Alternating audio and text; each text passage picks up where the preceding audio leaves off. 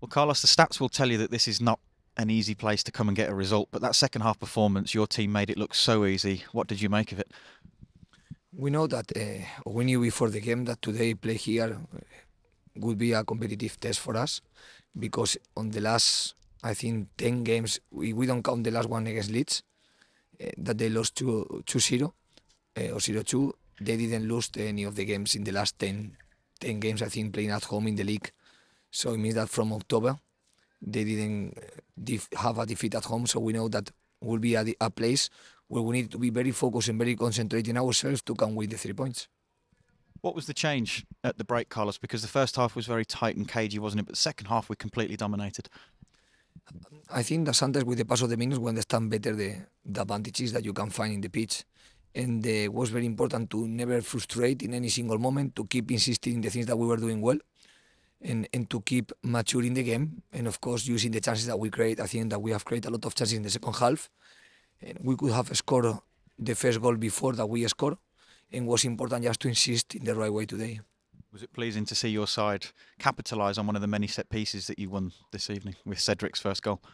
We had a lot of set pieces situation in the first half, and, and the way that you attack more better, you create more chances.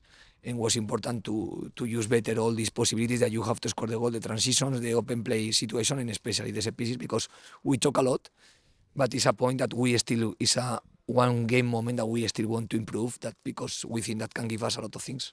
You brought Mikey Johnston on, and he produced the goods for you tonight, Carlos. What a simply brilliant goal!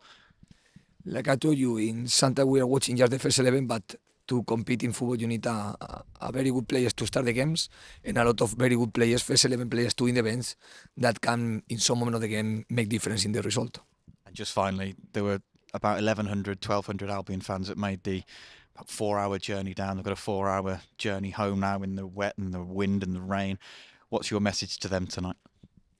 Sometimes there are no words to, to say how thank you we are uh, to them for the support that that they were giving to us. I think they, they have showed today how committed they are with the club, how committed they are with the team, and the, that the difficulty is just part of the that with the feeling that they have, with the love that they have for this club and for this team, they are able to to beat any type of difficulty. So for us to have them here supporting the team today has been the, the best feeling to give the three points to them.